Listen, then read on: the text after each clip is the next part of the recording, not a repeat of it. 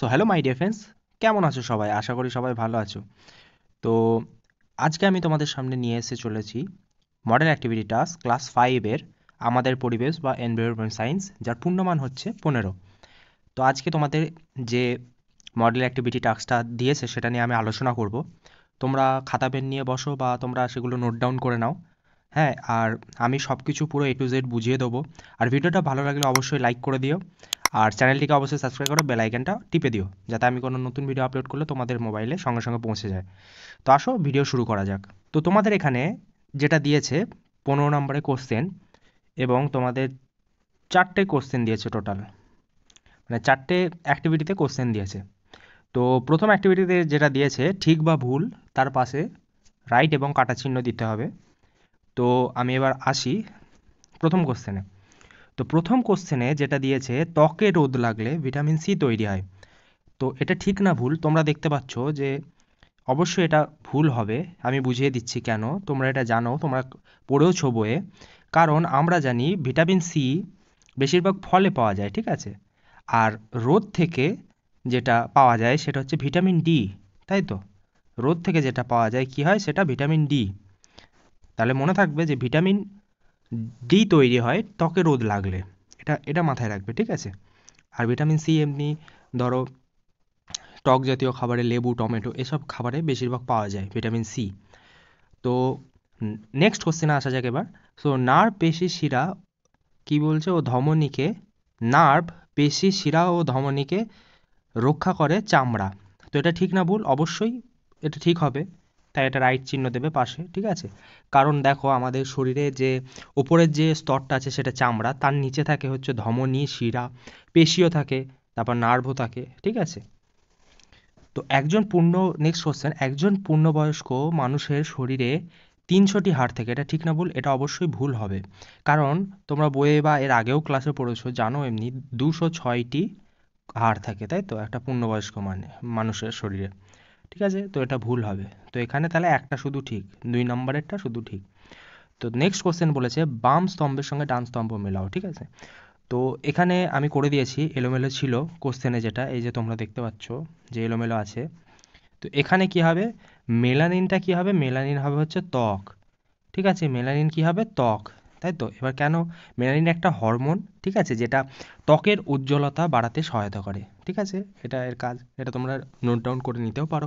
পরবর্তীকালে কোশ্চেন এমনি আসতে পারে যে যে ত্বকের উজ্জ্বলতা বাড়াতে কী সাহায্য বা মেলানিনের একটা কাজ লেখো, সেরকম হরমোনের একটা কাজ। পরবর্তীকালে তোমরা পাবে এসব কোশ্চেন তো মেলানিনের সাথে কি হবে?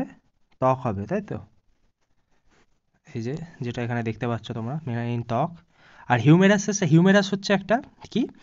পেশি। হিউমেরাসের সাথে কি? হাতের হাড়। হিউমেরাস হচ্ছে হাতের হাড় আর ফিমার হচ্ছে পায়ের হাড় লিগামেন্ট যাকে বলে, ঠিক আছে?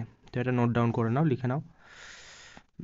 তো নেক্সট যেটা, তিন নম্বরের কোশ্চেন সেটা বলেছে একটা বা দুটো বাক্যে উত্তর দাও। তো মানুষের শরীরে কনুই থেকে কবজি পর্যন্ত যে দুটো হাড় থেকে তার নাম। আমরা জানি আলনা ও রেডিয়াস ঠিক আছে? তো মানুষের শরীরে কনুই থেকে কবজি পর্যন্ত দুটো হাড় থেকে আনলা ও রেডিয়াস এটা তোমরা লিখে নাও নোট ডাউন করে নাও ভিডিও পজ করে, ঠিক আছে? তো নেক্সট কোশ্চেন হচ্ছে, পেশি যেসব কাজে আমাদের সহায়তা করে, তার মধ্যে যে কোনো দুটো কাজের উল্লেখ করো। তো আমাদের পেশি কী কাজে সহায়তা করে?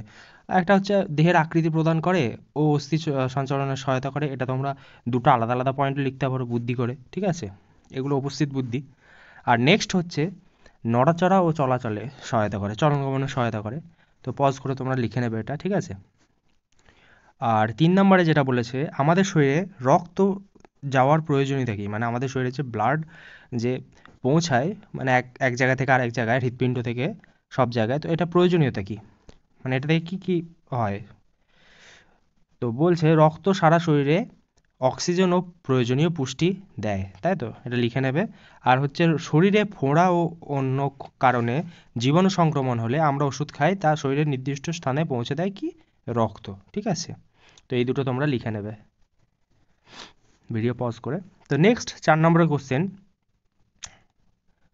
ঠিক আছে? বলছে দুটি বা তিনটি বাক্যে উত্তর দাও। হাড়ের জোর না থাকলে আমাদের শরীরে কী অসুবিধা হতো? হাড়ের জোর যদি না থাকতো তাহলে আগে ফার্স্টে এইসব কোশ্চেনে যদি থাকে ধরো, তিন নম্বরের কোশ্চেন থাকে বা চার নম্বরের কোশ্চেন থাকে, এগুলো কিছু কিছু মানে হার সম্পর্কে ধরো একটু ইন্ট্রোডাকশান দিতে হয়, যাকে ভূমিকা বলা হয়, ঠিক আছে? এগুলো উপস্থিত বুদ্ধি। তাহলে কি হয়? যারা টিচার তারা খাতা দেখে তাদের সেগুলো মানে ভালো লাগে। মানে স্টুডেন্টসের এটা একটা অ্যাক্টিভিটি যে মানে স্টুডেন্টরা জানে, এই এই বোঝে, ঠিক আছে? তো এইভাবে তোমরা লিখতে পারো। ফার্স্টে হালকা একটু ছোট্ট দু লাইনের ইন্ট্রোডাকশান দিয়ে দিলে যে হাড়ের হয়তো তোমাকে বলল নার্ভের কাজ কি? ঠিক আছে? তো নার্ভ কি দু লাইনে হালকা করে লিখে দিলে বা এক লাইনে একটা লিখে দিলে তারপরে কাজগুলো লিখলে। তো এটা একটা সুন্দর লাগে খাতায় আর মাস্টার দেখেও বোঝে ফুল মার্কস দিয়ে দেয়। ডিরেক্ট কাজ বলে লিখে মানে সেটা একটু অন্যরকম লাগে। তো যেটা বলছি তোমরা বুঝতেই পারছ। তো এটা লিখে নেবে যে হাড় হলো একটি কঠিন অঙ্গ যা মানুষ সহ সকল মেরুদণ্ড প্রাণীর কঙ্কাল তৈরি করে। হাড়গুলি দেহের বিভিন্ন অঙ্গকে সুরক্ষা দেয়। আমাদের শরীরে হাড়গুলি বিভিন্ন স্থানে জোড়া লাগানো থাকে। হাড়ের জোর না থাকলে আমরা, আমাদের কি কি প্রবলেম হতো সেগুলো নিচে আমি লিখে দিয়েছি, দেখো। প্রথম হচ্ছে হাড়ের, হাতের জোর না থাকলে হাত আমরা ভাঁজ করতে পারতাম না, ভাঁজ করা যেত না। নেক্সট হচ্ছে ফলে খেলাধুলো অনেক এবং অন্যান্য কাজে অসুবিধা হতো, লিখবে। আর আঙুলের হাতের জোর না থাকলে কোনো কিছু ধরতে অসুবিধা হতো আমাদের। আর তিন নম্বর হচ্ছে পায়ের হাড়ের জোর না থাকলে চলাফেরা করতে, দৌড়াতে, বসতে সব কিছুতে অসুবিধা হতো। তো তোমরা লিখতে পারো, ঠিক আছে? এই তিনটে তোমরা ভিডিও পজ করে লিখে নেবে। তো ভিডিও কেমন লাগল? অবশ্যই কমেন্টে জানাবে। আর যদি কোনো কিছু বুঝতে অসুবিধা হয় বা স্পেসিফিক কোনো চ্যাপ্টারের বা কোনো কিছু যদি ভিডিও চাই অবশ্যই নিচে কমেন্ট করবে। তো দেখা হচ্ছে নতুন অ্যাক্টিভিটি টাস্ক নিয়ে নেক্সট ভিডিওতে